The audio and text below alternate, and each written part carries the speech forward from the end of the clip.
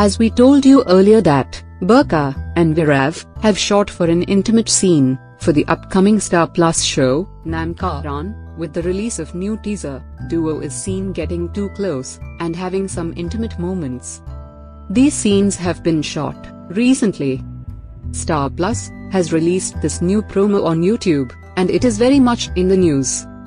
Makers of the show have remake the song Aaj Jaane Ki Zid Na Karo, and it has been sung by Arijit Singh.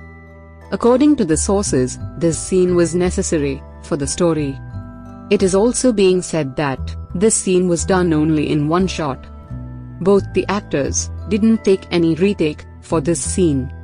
Serial will be on air from 12th September, and its story revolves around a 10 year old girl